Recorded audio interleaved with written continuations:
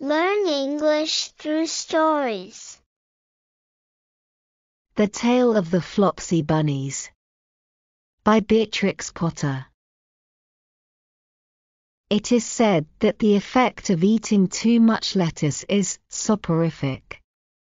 I have never felt sleepy after eating lettuces, but then I am not a rabbit.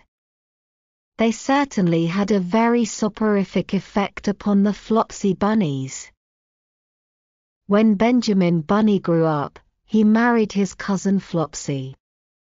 They had a large family, and they were very improvident and cheerful. I do not remember the separate names of their children, they were generally called the Flopsy bunnies.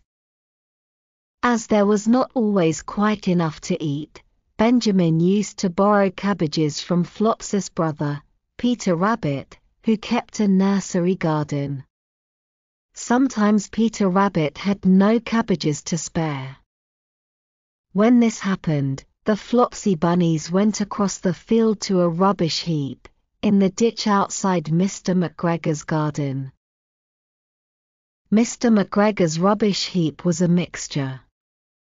There were jam pots and paper bags, and mountains of chopped grass from the mowing machine which always tasted oily. And some rotten vegetable marrows and an old boot or two.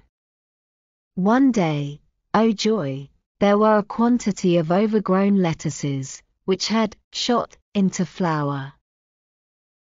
The Flopsy Bunny simply stuffed lettuces. By degrees, one after another, they were overcome with slumber, and lay down in the mown grass. Benjamin was not so much overcome as his children.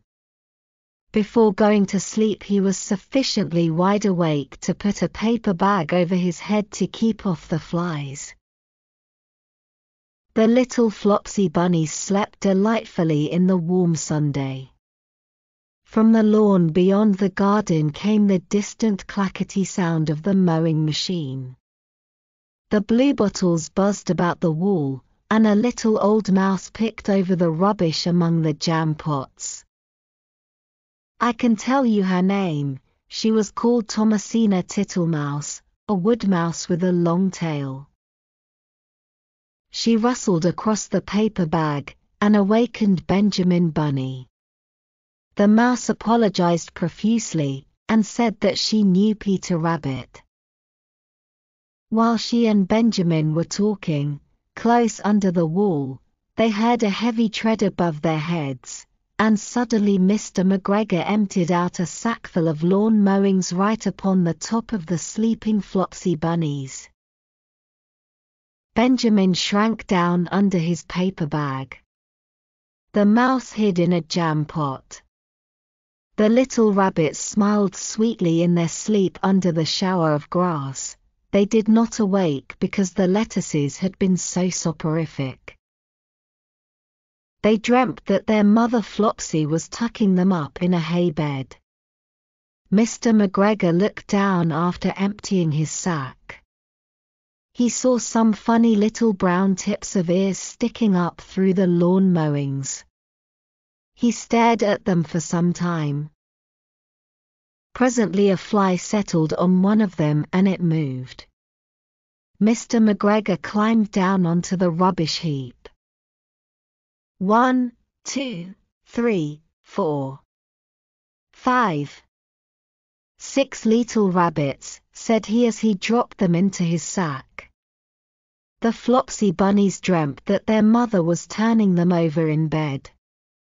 They stirred a little in their sleep, but still they did not wake up. Mr. McGregor tied up the sack and left it on the wall. He went to put away the mowing machine. While he was gone, Mrs. Flopsy Bunny who had remained at home came across the field. She looked suspiciously at the sack and wondered where everybody was. Then the mouse came out of her jam pot, and Benjamin took the paper bag off his head, and they told the doleful tale. Benjamin and Flopsy were in despair. they could not undo the string. But Mrs. Tittlemouse was a resourceful person. She nibbled a hole in the bottom corner of the sack. The little rabbits were pulled out and pinched to wake them. Their parents stuffed the empty sack with three rotten vegetable marrows, an old blacking brush and two decayed turnips. Then they all hid under a bush and watched for Mr. McGregor. Mr. McGregor came back and picked up the sack and carried it off. He carried it hanging down, as if it were rather heavy. The Flopsy bunnies followed at a safe distance. They watched him go into his house. And then they crept up to the window to listen. Mr. McGregor threw down the sack on the stone floor in a way that would have been extremely painful to the Flopsy bunnies, if they had happened to have been inside it. They could hear him drag his chair on the flags, and chuckle. One, two, three, four, five, six little rabbits, said Mr. McGregor. Eh? What's that? What have they been spoiling now? inquired Mrs. McGregor. One, two, three, four, five, six little fat rabbits, repeated Mr. McGregor, counting on his fingers. One, two, three. Don't you be silly, what do you mean, you silly old man? In the sack. One, two, three, four, five, six, replied Mr. McGregor. The youngest Flopsy bunny got upon the windowsill. Mrs. McGregor took hold of the sack and felt it.